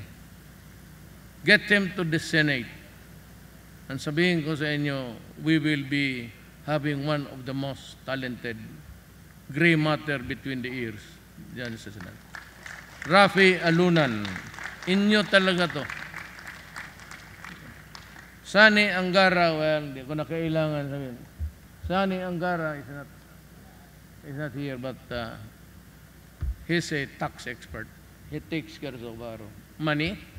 And about the only thing I, I, I like about Angara is he can afford really to criticize me. And he criticizes me, and I welcome it. I never talk it against him. Wala akong inano kay... Believe ako. Yan basta tama lang. Huwag lang yung binastos. Ang gara is a, an asset. Huwag ninyong pakawalan. Kagaya ng tatay. Uh, Congressman Pia Cayetano, well, wala dito, pero siya yung nagbigay sa iyo ng 100 days extra sa maternity leave ninyo mga babae, pati may sweldo pa. Yung dalawang Cayetano na yan, seasoned legislators yan. And maybe one of them should be president someday. And of one the others. J.B. Hersito. Oh, matagal naman yan. Hindi ko naman kailangan sabihin na mabait. Walang, walang bisyo. Uh, it also, binibira ako nito. Nababasa niyo sa newspaper. But he criticizes the, the, the offices, yung mga departamento. Mahusay ito. Eh. JB Hersito. Siguro. Sunod, Aimee Marcos. Ah, talagang from congressman, governor to all. Isa pa na parang nanay talaga natin. And uh, I would be very sad kung hindi siya dadating uli. Mahusay talaga na, na legislator. And always, lahat yan, lalo ng agriculture. He, she keeps on watching the funds sa uh, agriculture na talagang magamit sa Oslo. And she criticizes, and that's good. And I like her. Both husband and wife have dedicated their lives sa public service. Cynthia Villar.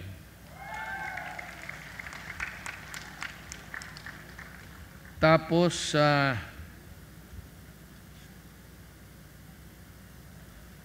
let me talk about Mango Dadato.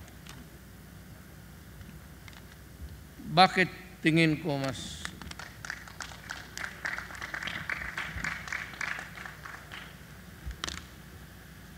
Bakit tingin ko mas importante siya? Alam mo, itong Mindanao is ruled by a feudal system. It is not of the choice by people because uh, feudal kasi is something which is really a controlled society. Pero itong sa Mindanao, for as long as they are Moro and Muslims, It is really a feudal thing because that is the command of the Quran. May hierarchy talaga yan. And it's commanded by the Quran. So they have, yun ang reliyon nila. Yun ang konstitusyon nila. Dapat yung konstitusyon natin must not run afoul with the Quran. Otherwise, we will have a big headache there. Pero ito mga manggo dadato, ito yung mga pamilya, you have heard them, mga Sinsuat, Ampatuan, Manggo. Ito yung pamilya who stayed loyal to the government almost until uh, uh, until if you can remember since hindi to lumaban ng gobyerno talagang nakisama sila sa mga Kristiyanos at kung ano yung mga uh, a brewing trouble war sila yung nagpapakalma, nagpapamamasay sa mga tao nila. And in the so many instances that they interfered or interdict the small wars there, namasahe natin, ang karamihan naging maayos. Kung magsabi ka lang, they have saved maybe 50,000 lives upon their intervention, meron. Na hindi natuloy yung gera dahil pati sila, mismo sabi niya, dito na lang tayo sa gobyerno. At kung ikumparar mo ito, saving lives, dito sa Alejano, Aquino, Jokno, yan ang hindi nila alam. Ang kontribusyon ng muro. Isipin ninyo, ang Mindanao, Moro, pati Kristiyanos, pati lumad.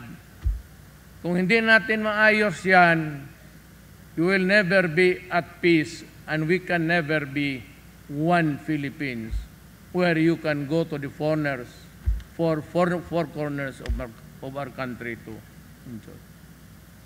Yan yan sila ang nagbigay ng contribution. So ako nakikiusap ako, not because muro ako, but because ang totoo. Ako, ako naman ay, I consider, ang, ang tatay ko decided for us. Sabi niya mag-Kristiyano. So, we are, ako Christian. Pero hindi na ako katoliko. But I believe in God. Sigurado yan more than anybody else sa inyo, ako ang, yan ang nagbibigay sa akin ng, may sabi, magka magpunta dyan, kay maraming NPA, huwag ka magpunta ng hulo. Ako basta magsabi, uh, bahala na ang Diyos. If He decides that I go now today, then that is my time. Ang mga kayong mga katoliko, I would always advise you to read a passage in the Bible. Uh, It's found in Ecclesiastes 3. And the caption is uh, titled, For Every Season or everything, there's always a time under the sun. Ako yan talaga ang election, wala akong uri. Pag sinabi ng, you know, at the time, yung president, si Katyan, si Duterte, ganun, mayabang, sige lang putang ina. Pero may panahon rin na babagsak ako. And I would go back to being a civilian and be humble. Wala na akong karapatang magmura-mura dyan kasi it's not my burden anymore. Hindi ko nakarga yung yan, remember there's always a time for plenty and a time for want. A time to be managed and maybe by the fiat of history, you'd become poor. Kaya karamihan ang dumaan. Sikat sila tapos laos. Ang masakit dyan, some are not even being, their presence are not minded by anybody yung mga unpopular na ano. But ako, I don't know how, how, baka patayin ako itong mga putang inang durugista na ito. But they are all invited to try. Pero wag lang ako, ano, wag lang ako magluhod. Uh, hindi talaga ako luluhod. Kung hindi na ako mayor, kung gusto mo ng away, puntahan mo ako sa bahay. Baski natulog ako, sabihin mo, gisingin mo yung putang inang Duterte na yan, kaya magbarilan kami pagbigyan kita. Kaya nga ako nagpa-practice eh. Eh, totoo. Kami ko kayang baril. Ayaw, ayaw ko lang ma, mamatay, kawawa. Ayaw ko yung, not me. I will never beg for anything na ginawa ko dito Sabihin ko, pasensya na, pilitan lang. No, ano? Magsabi sila, ikaw, panahon mo, busado ka, marami. O, totoo yan, putang ina mo. Sige, tayo. Dagdagan natin. Para i buhay mo, idagdag mo o akin. Maraming daldal. So, na, nasabi ko na ba lahat? Ang, ang nagrami dito, ang yabang kuman. Anyway, ah, kasi hindi man tayo nakausap ng matagal uli. But I said, ba- hindi, hindi ako gano'n na natalo ako, mag-isnab-isnab ako. Lalo, tuloy akong pupunta ng pupunta. You know, and ah, alam mo yung anak ko, baka maano kayo, I will advise her to lay off. Pero if I know Inday, hindi yan tatakbo ng presidente. Wise masyado yan Inday. She just want to shake the tree. Ganunin lang niya ba para maglabasan yung mahulog yung mga hinog, yung hilaw, paiwan, uh, shaking the tree and getting rid of the dry leaves and everything. Ah, a- ako ayaw kung payagan ako. Ako kung ako, tanong mo, hindi ako papayag na tatakbo. Ano. It, alam mo, sa totoo lang, ah, I, I apologize for saying this. Not fair. Pagod mo. And the things that you have done, and the things that you have to endure because you are there. Kasi anong klaseng insulto, anong klaseng paninira. Alam naman yan, hindi yan totoo. But uh, I will have my, my answer one of these days. Hintay lang kayo. Ah, ah, sa sa tamang panahon nila. And I would like to thank you for not, for not forgetting our uh, congressman, Leonardia or Leonardia, and of course the si, si Isa. I am uh, uh, ikaw, sir, ano ka, tatakbo ka ng congressman, kayo na, hindi, ilang district ba? Pala dito. Ah, uh, mag-away kayo?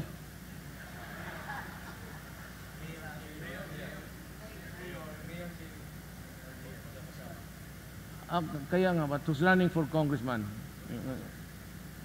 Ah, papi, ah, iwan ka mayor. Ah, wala. Kung mayor, walang ibang mahusay, ikaw. Ito. Putang ina kung akong binigyan ng bungot na ganon.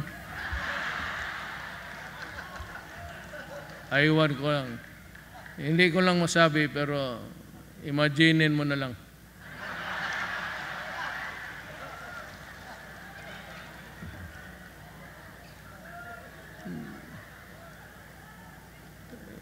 way bang ko uh, gaprami sa inyong ah, pero it will be put to good use.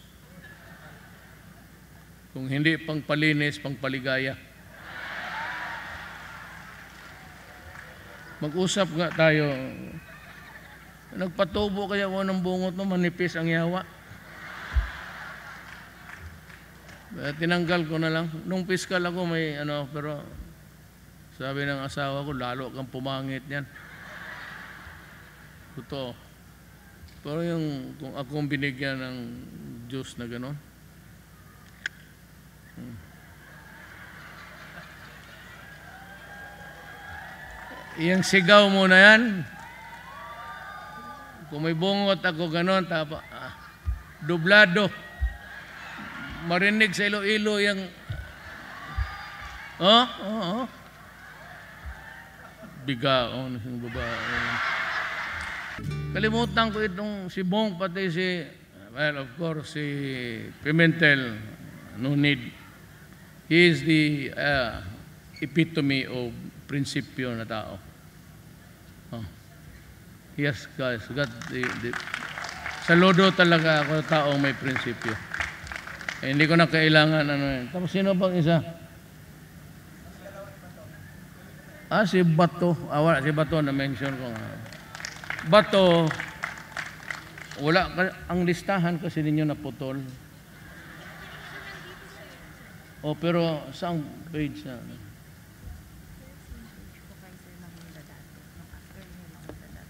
Sige lang. Maya ko na lang kayo ipanis.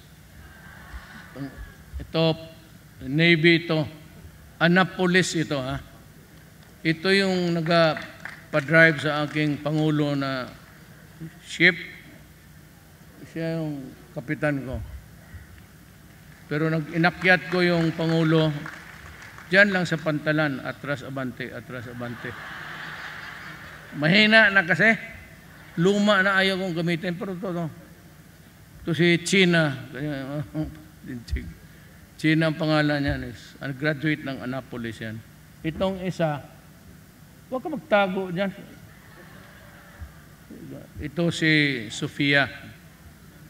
Uh, police ito. Kapitan. Yeah. Hmm. Yung isang maganda doon. Ano naman yun? Taga-atin ba yan? Ah, Huwag ka magsige display dyan. Pati ikaw madali ka. Sino ba yung isa bong? Wala na. Ano, bato is, ito, ah, ito si Bong actually. Ang nangyari nito, naglalaro ng basketball, si Bong, pati itong si Bato. Magkano yan sila eh? Siyempre, gobyerno. Ang aking aid, tinyente. Bata pa. Naglalaro sila ng basketball. Pagpasa ni Bato, bola, pag, pagsalo ng pagsalo sang bola ng aid ko, natumba. Kag uh, namatay. Diretso. So sa ospital uh, sanay ako ng sanay man ako na may aid mag ano maggawa para sa akin. So yung mga aid ko namatay. Sabi ko sinong mag ano sabi ni Bong uh, siya na lang daw in the meantime maghanap ako ng he costed along with me for 21 years alam mo, sa totoo lang, tanungin mo yung mga military, magpunta ako sa bukid, magdala ako ng pera. Ano kailangan doon pera eh? Mapambili sa probinsya kung ano. Alam mo, kude de bong yan sa gabi. Dalhin niya yan. Never, never. Nung, presi, nung, nung presidente na ako, mayor pa ako, kung masabi ko lang dumaan sa kamay, kamay ni buong mga about 50 billion, meron. Pero ni 5 centimos.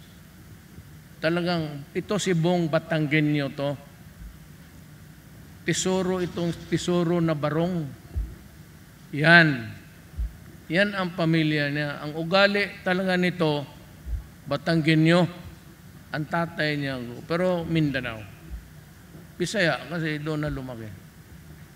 But uh, Lasal graduate ito mahusay. Ang tingin lang kasi nila, minamaliit lang ng. Akala nila sino-sino lang na yung pa-aid-aid lang dyan.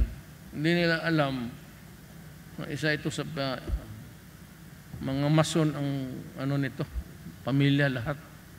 And they own the biggest printing press sa uh, Mindanao.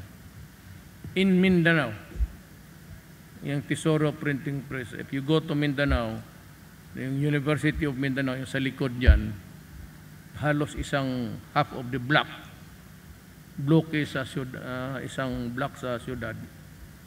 Yung, yun yung kanila. At uh, very honest, mahusay, mahusay ito si Bong. Ang bilis pa ng utak niyan. Alam mo, magkwenta ito si Bong hanggang ngayon, ulo lang. Ang anak nito sa Lasal rin ngayon, Manila, valedictorian. Ang anak niya na babae, salutatorian. Siya wala. Pero, bugoy rin kasi. Pero ito si Bong magkwenta ito ng mag plus or minus percentage. Dito lang. Ibigay, ibigay sa iyo. Hindi yan siya magkwenta-kwenta ng ano. Buong ilang porsyento, buong ilang gano'n, it times. Ibigay sa iyo kaagad. Yun ang, ang nakuha na sa pagka-Chinese. Bright sa math, unhonest. Very honest. At gusto magtrabaho. Di sige. Alam mo kasi kung sino nagpa nag nag, nag masenador naman talaga ito kung unless the, you you have a bad break. Alam mo sino nag ano nito? Nandiyan man kayo noon. Yung maybe nagbibili ng yung barko frigate tapos pumunta ang Koreano kasi sabi ko lahat ng gustong magreklamo ng paski kayo. Makadiretso kayo sa akin kung korupsyon ng opisyal. Ang sinabi ko sa inyo noon, if it is a case of corruption, dumiretso kayo sa akin. Pumunta kayo ng makinig ako at ipatawag ko yung putang ino yan. Ginawa ko na yan. Karami ko na kayong sinipa dyan ang undersecretary mismo, ninipa ko sa mukha. Yan, yung mga PSG, ngayon lang yan sila nakakita ng presidente talaga ng bubugbog, nananampal. Ngayon di ba nila nakita siguro yan kay Gloria pati kay, eh, dito sa akin, buto ka talaga. Uh, basta magsumo, kayo, you can go to Malacanang. Pag hinian kayo ng mga lalaki, tatawag kayo.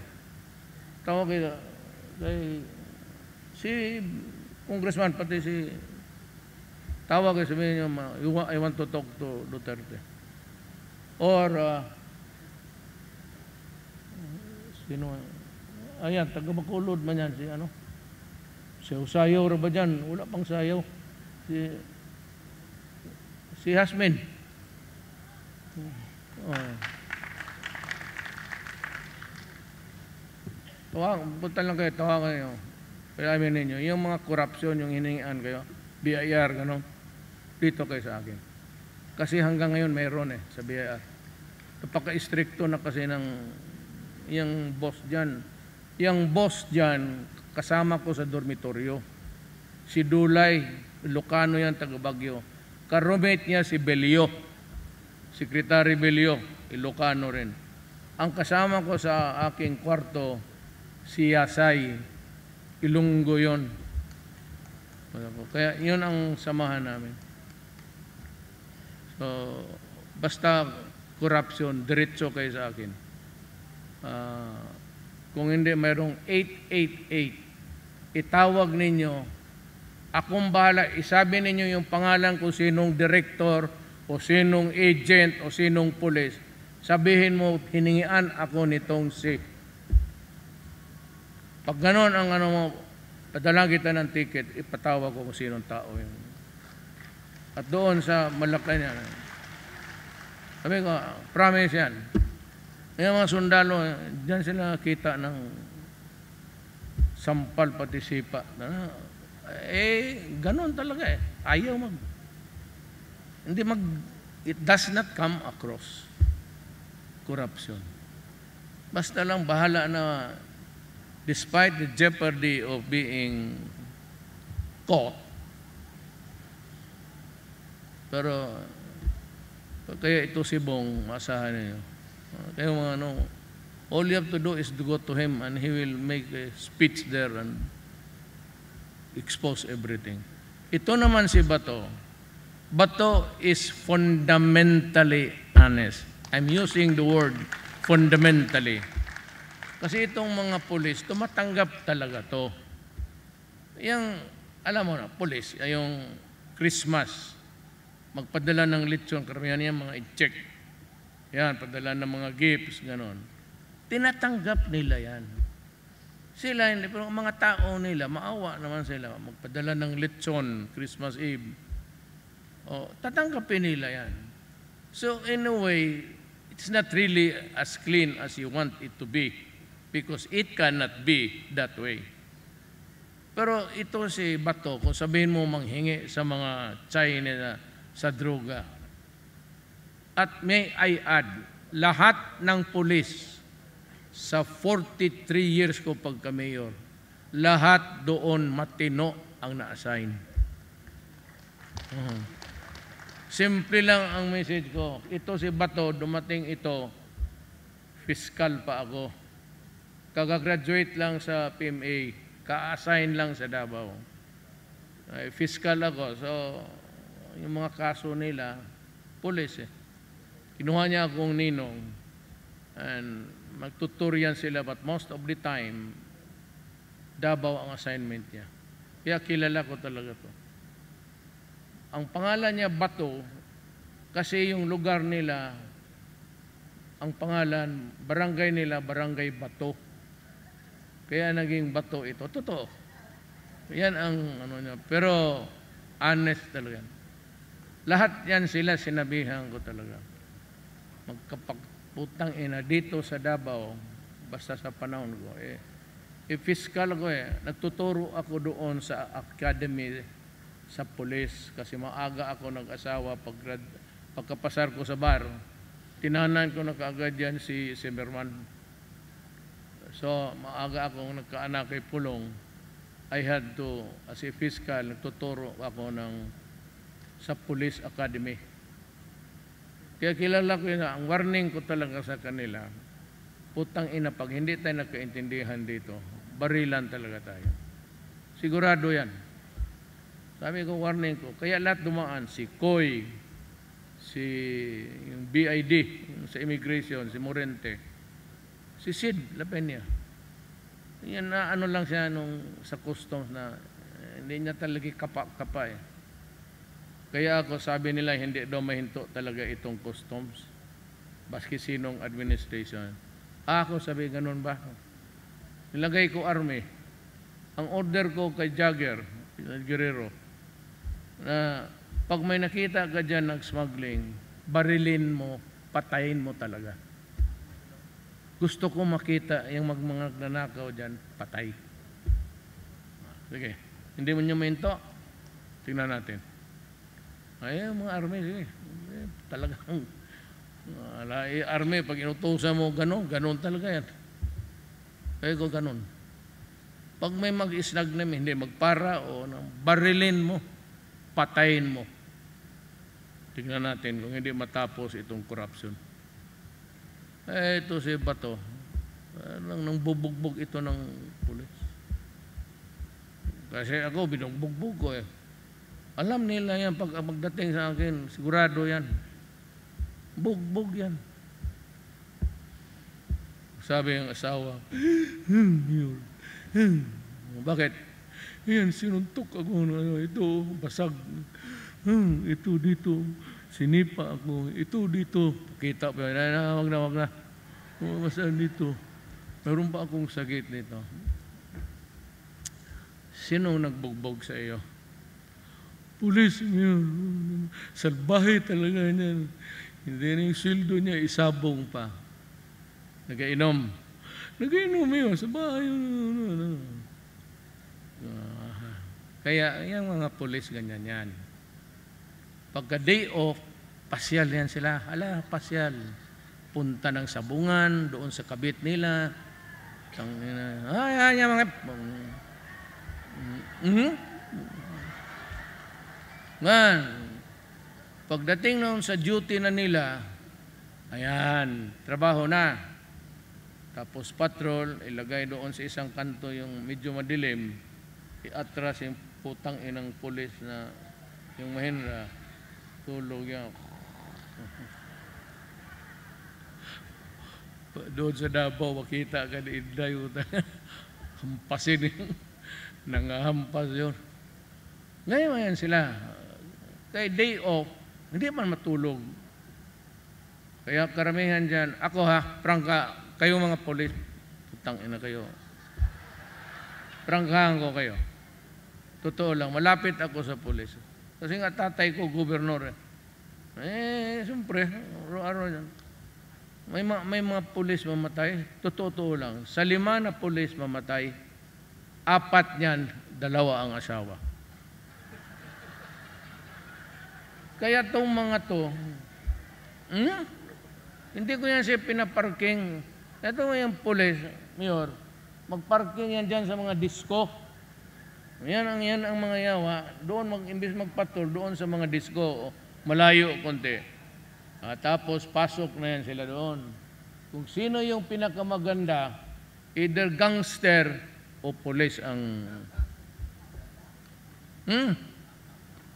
Tapos pag punerarya, pag libing na, sino yung isa?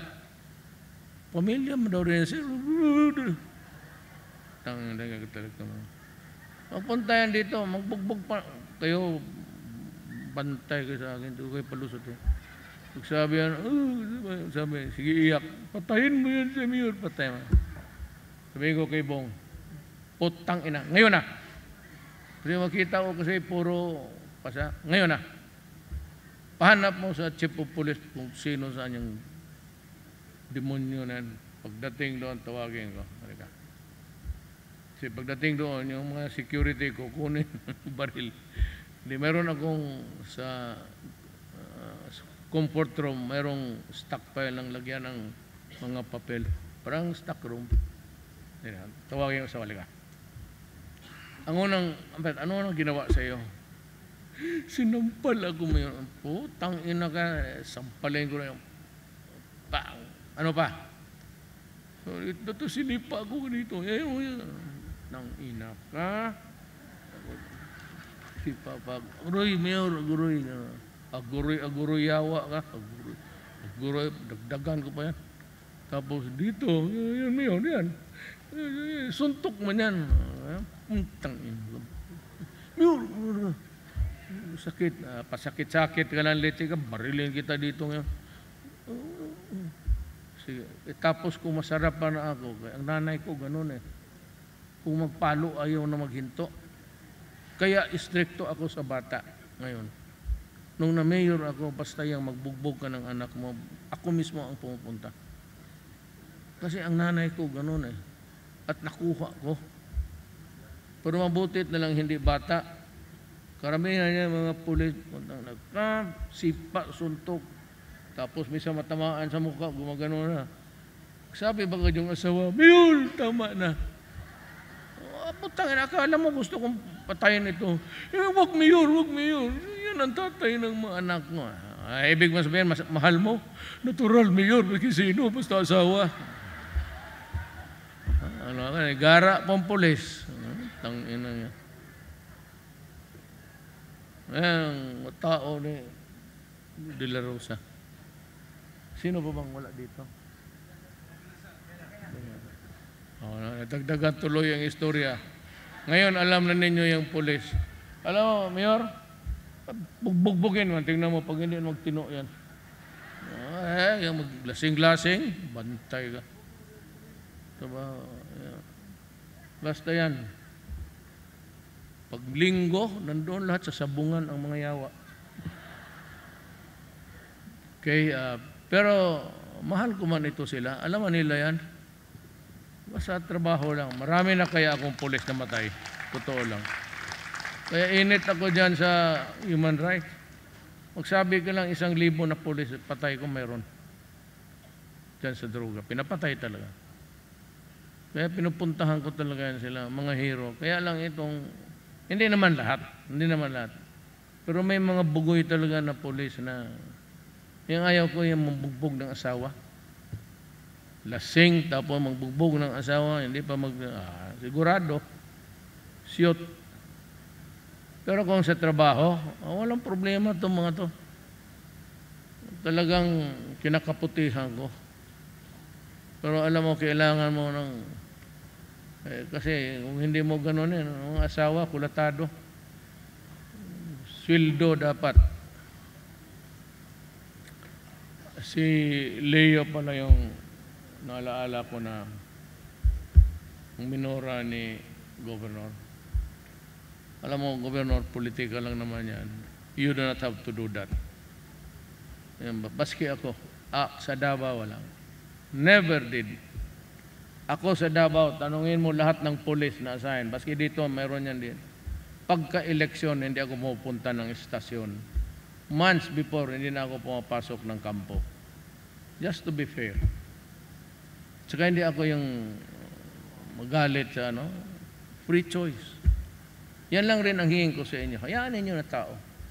Kung sinong gusto niya, kung wala kayong gusto, gustuhan rito, okay lang. But never, never yung intimidate because the, the essence of democracy is the right to dissent. Pag walang right to dissent, hindi ka makadissent, there is no democracy. That's the only one. The right to dissent. Remove that and you do not have a democracy. Maraming salamat again. Thank you very much, Mr. President.